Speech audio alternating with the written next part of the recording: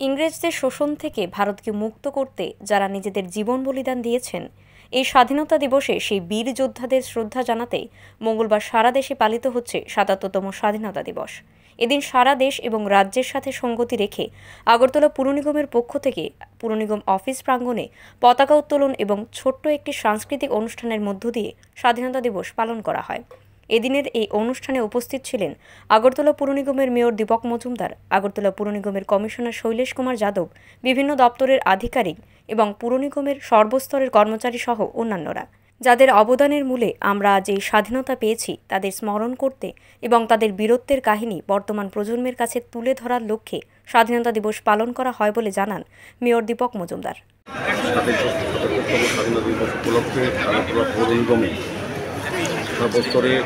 কর্মচারী এবং আমাদের জাতি সহ বিভিন্ন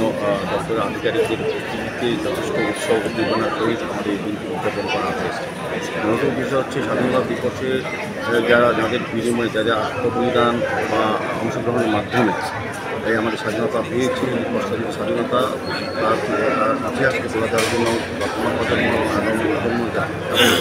সকল ব্যক্তিদের যাদের অবদানের মূল্যে আমরা এই সামাজিক